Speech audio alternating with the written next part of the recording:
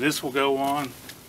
Through the 2x6 like so that you're just screwing into the top surface of this log and this is going to slide down like so but you really got to watch your feet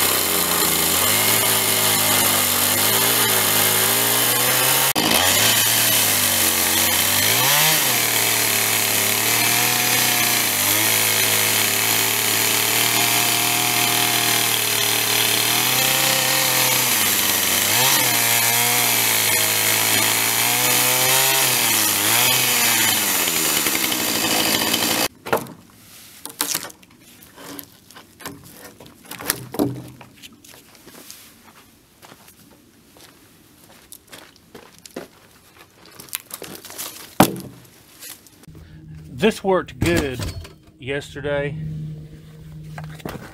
Um,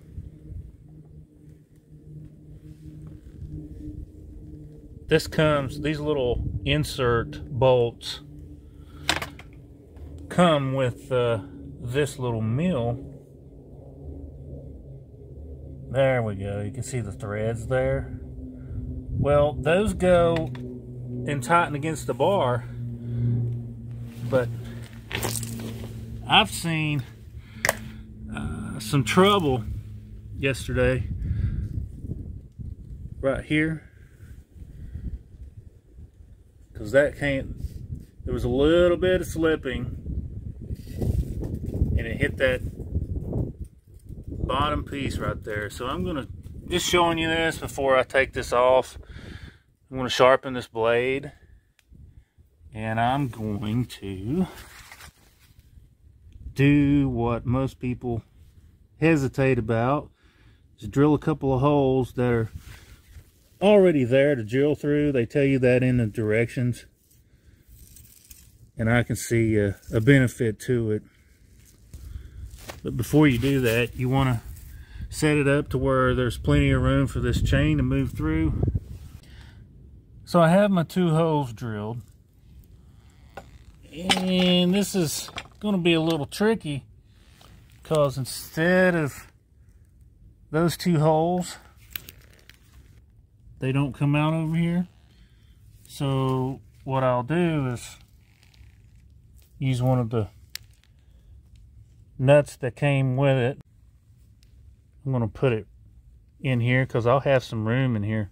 I've also gotten me a, a quarter inch lock washer. I'm going to try to hold these in here while I'm sliding the bolt through there. That should uh, take care of the other method where you have to drill the holes in there. I feel better about that than I do uh, the other. These these hold okay, but when they don't hold, could ruin a blade in a hurry. The ones that go over here on this side like so. You can do that if you want. This is just an option that I'm using. And what you could do is you could turn this while you hold this over here on the other side with your needle nose and by the way, this is a 7 16 head on this boat.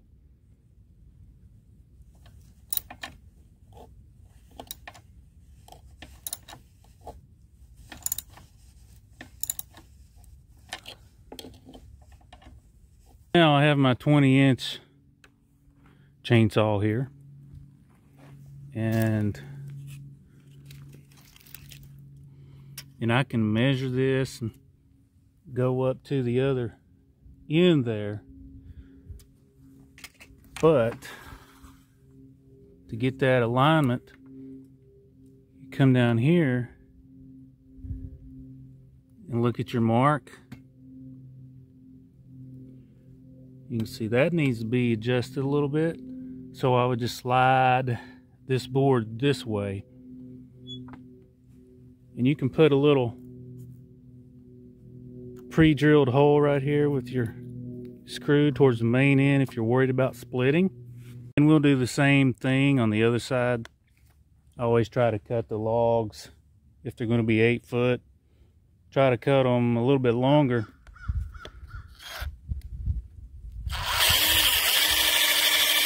That way you can cut off the end.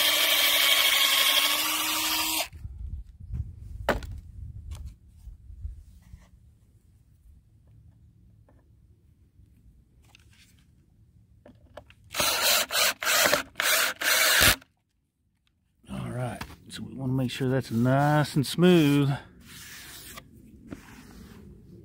This is a 10 foot board and that's an eight foot log.